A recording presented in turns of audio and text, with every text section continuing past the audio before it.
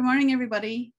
Um, thanks for joining us today. I'd like to introduce myself. My name is Melissa. I'm the customer support specialist for guided surgery here at Full Contour. Um, I'm happy to assist with any questions you might have for our guided surgery um, offering. Um, let's see, let's go ahead and get started. Uh, we're excited to bring you this webinar today and discuss one of our new offerings for guided surgery, our bone supported guides. As we go through the presentation, if you have any questions, please type them in the chat box that you see on your screen. We have some time set aside at the end to review questions and answer those questions you might have. With me today to provide the information for our new bone supported guide um, is Dr. Daniela Palencia. Dr. Palencia is an implantologist and she's been with Full Contour for almost five years now. Dr. Palencia leads our guided surgery team with our other two doctors, Dr. Luis Gamboa and Dr. Jorge Madrigal. Dr. Palencia, thanks for joining us today. Let's dive into bone supported guides. Thank you, Mel. Hi, everyone. Uh, good morning or good afternoon, depending on where you are located. As Mel said, yes, we are super excited about this new feature that we are offering right now, bone supported guides. We were waiting for this new feature to be launched for a while, and now we have it, and we are super excited to present this to you. So basically, this webinar will touch base on the workflow that we will be having with this bone supported surgical guides. Some steps in the workflow are very, very similar to um, any other type of, of, of surgical guides that we can decide, design, I'm sorry, within Implant Studio. So I'm gonna touch base a little bit more on the differences that we will encounter with this um, bone supported surgical guides. So let's start right with the workflow. So basically what we will be doing at the very beginning, it will be creating a new order. The same steps as a regular case. So whether if it's a tooth supported surgical guide or a uh, tissue supported surgical guide, we'll be uh, creating a new patient, a new case, and once we've typed the name of the patient, we are proceeding with the restoration details, which are going to be basically the same as a fully edentulous case, but like if we were working with the dual scan protocol. Now, we are going to select the implant planning surgical guide for fully edentulous, then make sure that we select the implant and the surgical guide, whether if we're working on the upper or on the lower arches. A little bit, uh, a difference that we encountered here is that for fully edentulous cases with the dual scan protocol, we are able to work with both upper and lower arches. But for this uh, bone supported guides, we will be working either on the upper arch or on the lower arch. This doesn't mean that you won't be able to send us cases to plan both for upper and lower, but we are going to be presenting you two separate cases. Once we've uh, specified the restoration details, then we are moving to the following step of the workflow, which as you can see is very, very similar to the other uh, workflows that we have within Implant Studio. So the difference here is that we are going to select bone supported, as you can see over here. So since at the beginning, we were specifying the restoration details for a fully edentulous case, we can go for either the dual scan protocol or the bone supported, which is the one that we are going to select right now. And the cool feature about this is that we are only going to need the CBCT of the patient. That's it. No radiopaque markers, no dual scan protocols, super easy, very straightforward. And we need to make sure this is something that we've uh, discovered uh, in the past few days that whenever a CBCT is taken and there um, the patient bites over a bite plate and that bite plate appears in the CBCT, we are not able to proceed with the or with a correct surgical guide design. So this example that we have over here where the mandible is completely clear, no artifacts are on it, that is perfect. And that is what we are looking for. A clear CBCT where we can perfectly plan the case and therefore design the surgical guide. Another thing that we've uh, discovered is that even though we are not working with the dual scan protocol and we don't have a denture to follow the implant placement, taking into account that and what we love about Implant Studio, which is prosthetically driven, even if we're working with a single implant or multiple implants, we can actually, let's say, trick the software by taking the CBCT of the patient, but with just a regular denture, making sure that the denture is stable, that the occlusion is correct, and that you're satisfied and that the patient is satisfied with the denture. No need of radiopaque markers, but when the CBCT is taken with the denture, that denture will appear as a shadow, and that shadow will allow us to, to, to find the correct placement of the implant following that denture that the patient currently has. So we can actually proceed with the plan as if we were um, having teeth as if we were planning the actual teeth in um, in the case. So that will help us a lot. On the following step, once we've imported the CBCT, we are ready to um, start uh, uh, correcting the settings or, or, or, or uh, modifying the settings of the CBCT so that we can plan correctly uh, the implants and then design the surgical guide. This step is basically the same as what we have for either the tooth supported or the tissue supported surgical guides. So basically we'll be cropping the CBCT data by using the blue control points that we have over here.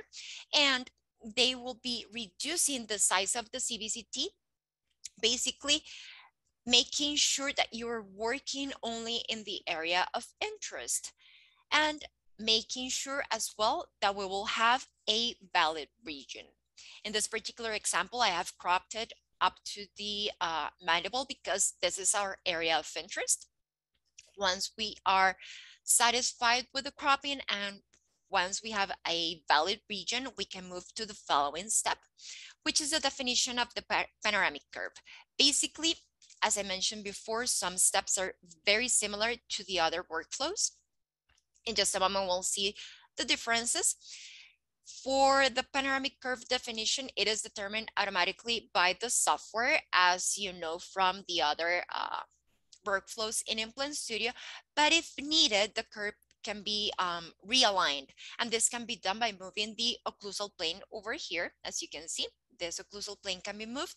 And then on the uh, axial view over here, these yellow control points can be moved. And then you can go ahead and modify the uh, panoramic curve. Same as on any other plan or any other workflow, I'm sorry, in Implant Studio. Once the panoramic curve is defined, we can move to the following step. This is one of the first differences that we have with the bone supported surgical uh, plans, which will be the bone surface model. So basically these 2D, um, sorry, these um, 2D views are going to help us evaluate the bone surface model quality. And now we are basically going to compare the model outline with the bone in the CBCT. And then we're going to navigate these different areas by using this control point in the panoramic curve. Basically, we are going to be modifying the bone density threshold and the hole closing diameter to make sure that the bone surface model that we are quote unquote creating will be matching perfectly the bone in the CBCT. Why? Because over this bone surface model is where we are going to be designing our surgical guide. So it needs to be as perfect as possible. So as you can see in this example, we have modified the bone surface model. So basically what we will be needing is modifying, as I mentioned before, the bone density threshold and the hole closing diameter to make sure that we have achieved this image over here or this um, alignment, let's say, between the surface model and the model of the, uh, I'm sorry, and, and the CBCT of the bone. We need to make sure that we have evaluated the quality of the bone surface model. Make sure that we are checking this box in order to move forward with the workflow. So basically we will be moving this cross plane here on the panel and then moving it from left to right, evaluating the orthogonal and tangential views, making sure that we have achieved a correct bone surface model. If by any chance. We don't have a good quality CBCT and there are areas where even though we've uh, modified these two thresholds over here and it seems that we are not able to to to correctly uh, um, designed, let's say, or or or achieved a correct bone surface model, we can go ahead and trick a little bit the software at the end with uh, a step in the surgical guide, making sure that on those areas where we didn't achieve a correct bone surface model, the guide won't have any problem seating. So we have ways to fix situations that we encounter whenever, as I mentioned before, we don't have a good quality uh, CBCT. Once we've um, evaluated the bone surface model, the quality of it, we will be checking this checkbox, and then we will be moving to the following step of the workflow.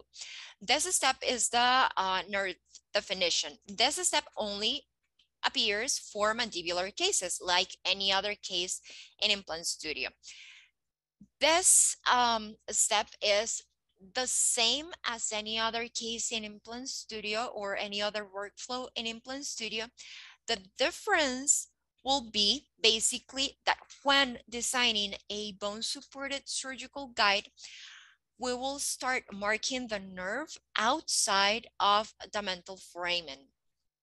So basically what we'll be doing is um, going over to the panoramic view, identifying the mandibular nerve, and then start drawing the nerve here on the orthogonal and on the tangential views. But the most important thing is that when we are drawing it, we need to make sure that the uh, mental foramen or the marking of the nerve is outside of the mental foramen. Why? Because when we start designing the surgical guide, the software will automatically measure a minimum of two millimeters between the edges of the surgical guide and the nerve. So we need to, let's say, help the software by drawing the nerve outside the mental foramen. This is the only difference that we'll encounter here on this nerve definition step, which is the same. You will need to start drawing it first the mental foramen and then go to the uh, rest of the mandibular nerve on both sides. And once uh, the nerve is defined, you can move to the following step, but making sure that the drawing is outside of the mental foramen. Another thing that we need to take into account is that if by any chance the um, quality of the CBCT is not that clear, you can always enlarge the diameter of the nerve just to compensate for any potential inaccuracies in the nerve position if by any chance uh, you're not able to retake the CBCT. Once the nerve is defined, we'll be moving to the implant planning step. Now, taking into account that the nerve definition only appears for mandibular cases. If we're working on maxillary cases, then we will be jumping directly to the implant planning step from the bone uh, surface model to the implant planning step.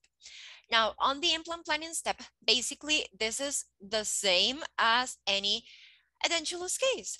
We'll be selecting the implants based upon the doctor's preferences, the implant manufacturer, the size of the implant, whether if it's fully guided or pilot guided. We need to make sure that we are always uh, placing fixation pins, we have a tripod stabilization that we need to accomplish just so that the guide will stay and sit firmly in the patient's mouth during the entire surgery. And the process of selecting implants is the same as any other um, workflow in Implant Studio. You will add the implants by clicking over here on any um, teeth on the implant uh, selector and we'll be choosing the desired implant brand based upon the doctor's preferences. Now, when placing the implant, it will be the same process as any fully edentulous case uh, for a um, tissue supported surgical guide where we will be um, placing first the platform of the implant by navigating on the um, on the panoramic curve and then going over the sagittal view, the platform of the implant will be uh, placed first and then the apex of the implant, just so that we can select the correct angulation of the implant. And that will be done for any implant and every implant that will be uh, selected for the plan the focus or, or, or, the main focus on planning fully edentulous cases, whether if we're working for a um, tissue supported surgical guide or in this particular case, the bone supported surgical guides is to achieve the best AP spread possible. Now, if the prosthetic plan will be to restore the case with an overdenture or a hybrid, we can go ahead and place the implants between the mental foramen just so that we can prevent any potential denture fractures due to the mandibular deflection. And it is preferred as well if the anatomy allows to align, align, I'm sorry, the implants parallel. And if we are not able to do so, then we can go ahead and proceed with the Paulo Malo protocol where we have uh, the possibility to tilt the posterior implants so that we can increase the AP spread and reduce the distal cantilever. For these cases, if we don't have, like I mentioned at the very beginning, that uh, the patient can be scanned with his or her uh, denture. If we don't have a denture, we can always go ahead and place uh, the implants within the occlusal area of the bone so that um, the emergence of the implants are as even as possible. However, this is a, a, a, a tip that we found it very, very useful to use the denture of the patient, scan the patient with the denture, and then over here, we'll be seeing the shadow of the denture, and that will be super helpful to proceed with the placement of the implants. This is extremely useful, and there are there is no need to, to proceed with any dual scan protocol, radiopaque markers, and all the hassle that comes with that. As I mentioned before, we will be looking as well for the tripod stabilization, a minimum of three fixation pins, two posterior, one anterior, to help stabilize the surgical guide. If we're working on the maxilla and if there is insufficient bone, we can always use the pad for additional stability, making sure that the shape of the or the design of the surgical guide is as a horseshoe, just so that we can have enough room to reflect the flap in the palate. Once we are satisfied with the implant position, let me go back just a second. Uh, as you see over here, the tools that we have are exactly the same as what we have in any other workflow. So you can always go ahead and modify the implant, the um, sleeves, you can group the implants, you can modify the safety zone around the implants, verify the distance that we have between implants, the angulation distance between the apex of the implants and the nerve. You can proceed with uh, abutments. This is a generic abutment tool that is super helpful. We can check the bone density taking into account that the bone density map appears at the end of the surgical report, which is super useful because we will get four views of the bone density, buccal, lingual, mesial, and distal. Extremely helpful. We can take screenshots as well. The same as any other workflow within Implant Studio, super useful, every single tool that we have over here. Now moving to the following step. Once the implants are positioned, everything is okay. We've followed the instructions of the planning doctor, we can move to the surgical guide design. So basically, and the difference between a tissue supported surgical guide where the denture will be transformed into the surgical guide. Over here, we'll be designing the surgical guide. So as you can see, we have the surgical guide creation and then different steps. This one, local guide offset, is the one that is a little bit different. And this one appears for the bone supported surgical guides. And in just a moment, I'm going to touch base on that. So for the guide design, basically what we'll be doing is over here on the uh, guide creation, we are going to uh, uh, click on the plus icon here to start a new patch, and then we are going to start uh, designing the guide. You could either click points on the bone surface model or just draw a line. And when the patch is closed, the guide will just start building automatically. Over here near the uh, mental foramen, we need to make sure that we have at least two millimeters between the edges of the guide and the nerve. Otherwise, the software will give you a warning and then you'll have to redesign the area near the nerve. This is super important. As I mentioned before, we need a minimum of two millimeters. Once the guide has been assembled, we need to make sure also that within the main structure of the surgical guide, the support cylinders and the main cylinders are within that area that are completely covered both on the buccal and on the lingual like this over here.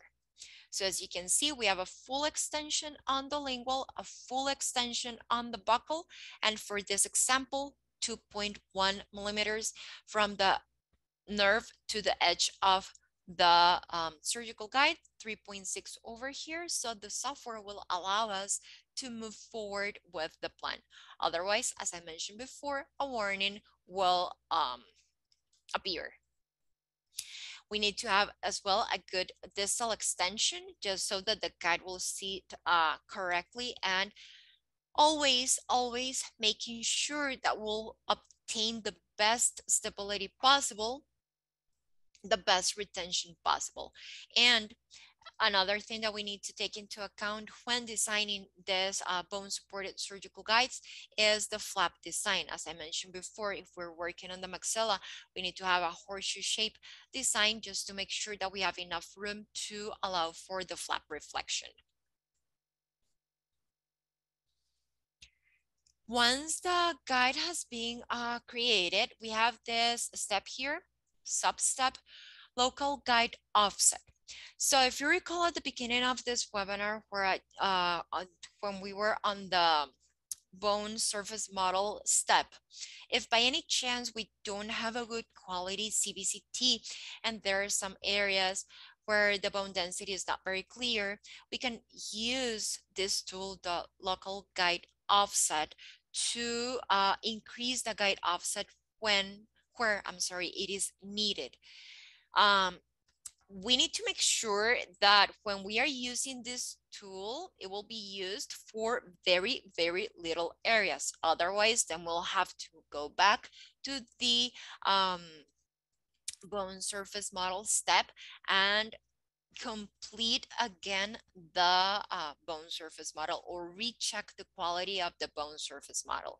Because if we start uh, playing around with the local guide offset all around the bone, then we won't have a, a, a good stability of the surgical guide. So basically, those areas where we see like let's say like if we were to have a hole in here what we will be doing is marking these areas over here. And let's say that we have another one on the other side of the arch, couple of areas tops. Then um, we'll be marking them. We'll be basically like paint, painting the areas. And those areas are areas where we should have a bigger offset uh, from the bone or a bigger distance from the bone. Um, as I mentioned before, this is basically because we don't have a very good uh, quality CBCT. And we need to make sure that whenever we are using this tool, we are not using it in the entire uh, surgical guide or in the entire uh, bone surface because otherwise the guide won't have enough stability and then of course the surgery won't be a success. So if we need to use this local guide offset in, a, in, in many areas, I should, uh, I strongly advise you to go back to the bone surface model quality and reevaluate that. So let's say that we have just a small area over here where we needed to uh, um, increase the bone uh, offset, I'm sorry, the, the guide offset. So we do that. We can uh, use this um, cross section here, cross plane, move it from right to left, and we can double check that we have a correct seating of the surgical guide all around the design, all around the bone. And once we are satisfied with that, we can move to the following step, which is the same as any other case in Implant Studio whether if we are working with a tooth supported or a tissue supported surgical guide, which will be the bars and windows and the ID tags.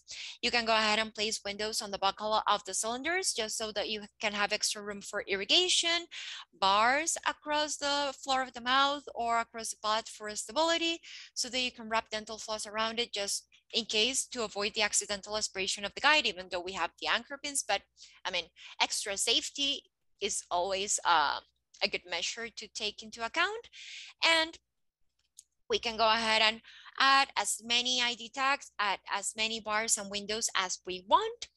As you can see here, we have the extension on the distal. For this example, we have the three fixation pins.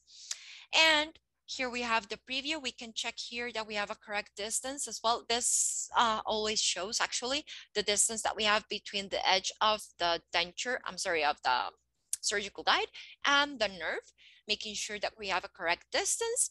And once we are satisfied with the entire plan, we can move to the following step, which is basically approving the order. This step is exactly the same as any other workflow within Implant Studio. So basically, you can go ahead and click here, show surgical report, and then you'll find um, the surgical report with a brief summary on every implant that was placed, on every anchor pin that was placed. You'll find um, a bone density map. You'll find axial, sagittal, mesiodistal views. And then if everything is okay with you, you can go ahead and approve the plan and approve the surgical guide so that the STL of the surgical guide can be generated. Once we approve the plan and the surgical guide, you will be able to or you will obtain this information. So basically, you're gonna get this uh, icon over here and this will be the information that you are going to obtain. You're going to obtain the 3OXZ file, the bone surface model. In this particular case, it is for the lower arch, which is this example. And you will obtain the drill protocol and the surgical report. Keeping in mind that the drill protocols, we have four drill protocols that are uh, complete. We have four different brands that we have the complete drill protocol. The other ones will have a generic drill protocol, but it's always, always super helpful because we'll find a minimum drill length and we'll find the information on every implant. And of course, again, the surgical report, but this one will come as approved since we already approved uh, the plan. So as you can see, we'll have this two PDF, the um, bone surface model, and as well, you will be obtaining the STL of the surgical guide, which is super important. So basically, this will be our new feature. As you saw, it's super, super similar to any um, fully edentulous case working as if we were working with the dual scan protocol. However, we have a lot of advantages here.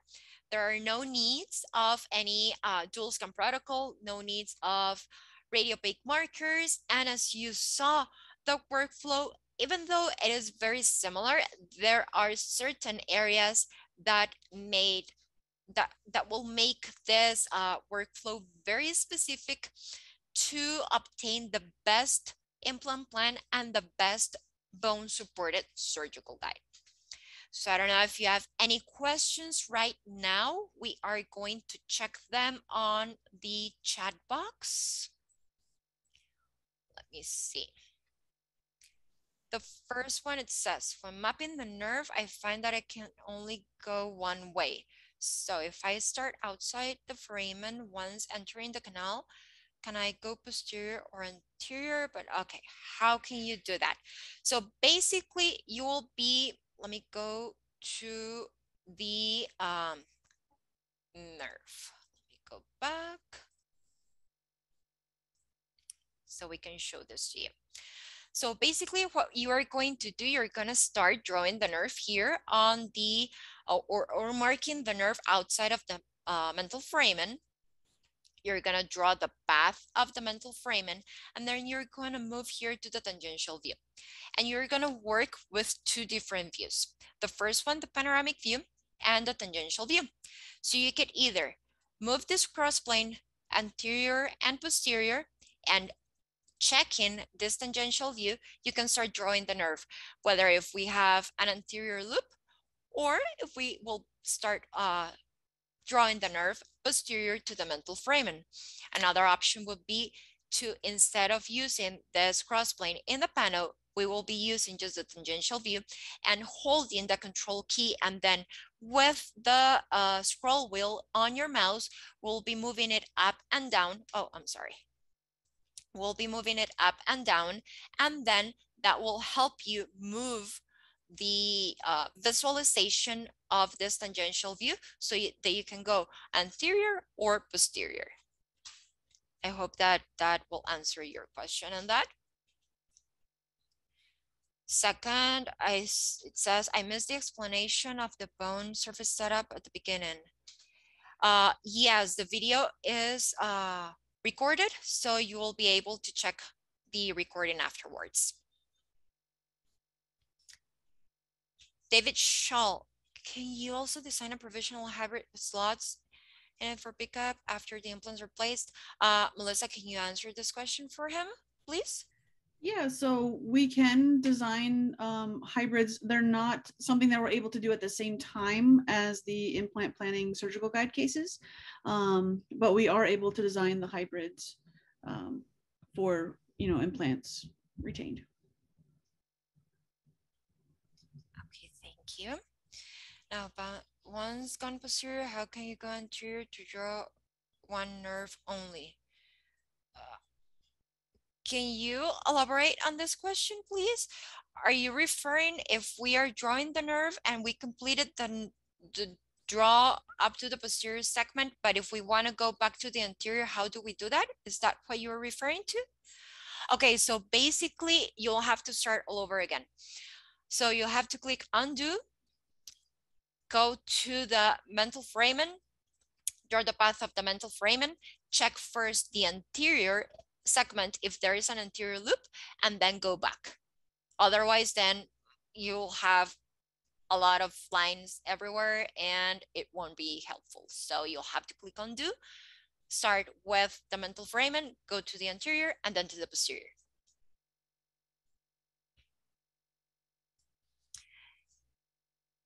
Any chance of designing a bone reduction guide with this module? Unfortunately, no. Right now we are only offering bone supported surgical guides. In the future yes i believe that we will be having bone reduction guides but for the moment we are not able to offer bone reduction surgical guides.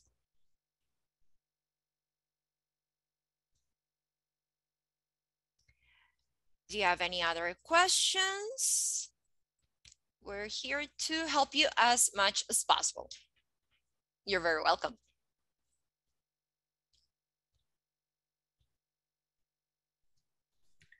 Anything mm. else? Mel, I think we are ready. Okay, so how do I get the link for the video, Mel? Um, we will probably be posting that on the Full Contour website. Um, I'll double check and we can definitely uh, let you know. But yeah, we are recording it and we should have that available um, for everybody to view. You're Any welcome. other questions?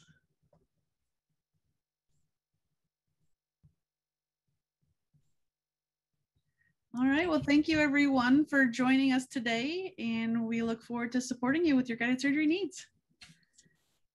Thank you so much for your time. And we are really, really excited to present you this offer.